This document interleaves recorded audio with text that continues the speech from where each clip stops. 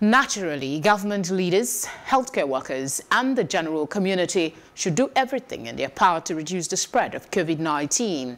This has been the situation globally as spirited efforts have been made to combat the virus. But these efforts, on the other hand, have largely created a neglect of the public health challenges that already existed before the outbreak of the coronavirus.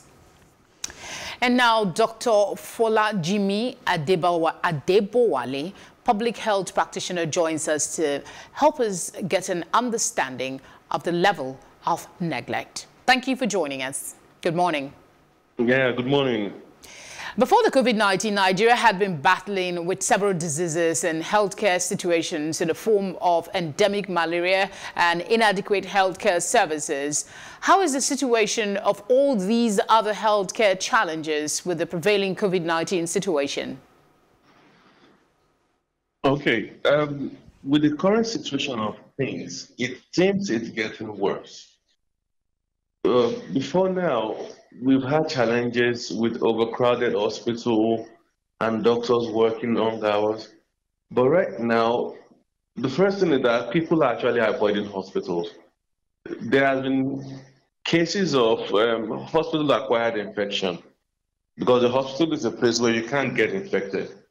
So for very good reason, people are actually avoiding it unless it's an emergency, unless it's something that you cannot do without. The other part is that people that travel out for healthcare purposes actually can't do so at the moment unless those who are um, on life support or can afford air ambulance, stuff like that.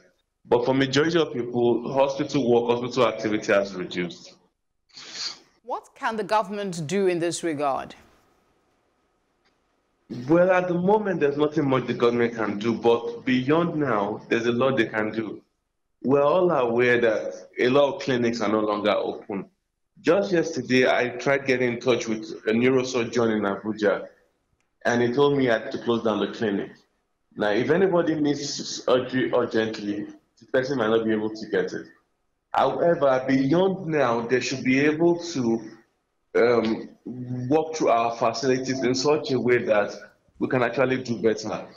Right now in Europe and in US, they are complaining about hospitals being overcrowded. Over here, we've always known our general hospitals and our teaching hospitals to be overcrowded. It was a norm that we had before. All those things have had to change. Hospital needs to stop being overcrowded. Hospitals need to be able to standardize their practice to international standards. These are things that must come into the discussion once this pandemic is over. Uh, what, what, can healthcare workers do um, in spite of all of this to ease the challenges for those who have other health challenges? Well, there's been a lot of innovations in this regard. Telemedicine has really come out to the fore. People are actually talking to their doctors via technology.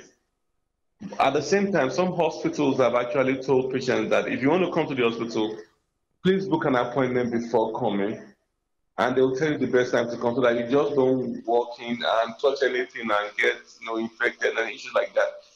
The healthcare workers have a major role to play, especially in terms of explaining to their patients.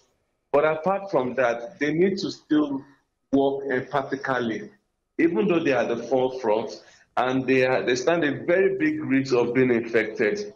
That doesn't mean they should work with or you should deal with patients with disdain or totally ignore your patient in the name of you trying not to get infected. Despite the situation, you still have a job to do. All right. what will you advise people with uh, chronic medical um, conditions or pregnant women, for that matter, who have to visit the hospital during this period? Hospital visits at the moment are situations where it's absolutely necessary for you to go. Thank God before now, we we've always told patients, especially people with chronic diseases like hypertension and diabetes, that they have a role to play in this matter. They need to have the right knowledge and they need to have the right attitude and be very proactive about their care. That still remains. Beyond that, they need to be in touch with their doctor. And if it's absolutely necessary, they need to go to the hospital. But for now, they need to be very proactive about their care and be very on point about it. In case the COVID-19 issue doesn't go away anytime soon, what will happen to government hospitals, as you say, that are usually overcrowded? Um, will that not pose even more serious danger? Yes, like I said earlier, it's a big problem. But if they innovate, they can actually solve it. For example, it's possible for you to call book an appointment, and be in the hospital when you need to have that appointment. You don't need to be like before like 7 a.m. to 7 p.m. If you have a 11:15 a.m. appointment, you go there 11:15 a.m. and you leave the place. So such a structured pattern can actually reduce the amount of people. Then being able to attend to um, your nearby primary health care center will actually reduce the need for you to go to a general hospital. So if they can innovate and we can balance issues, improve our primary healthcare system, there will not be a crowd at the general, which is the secondary level, or at the tertiary level.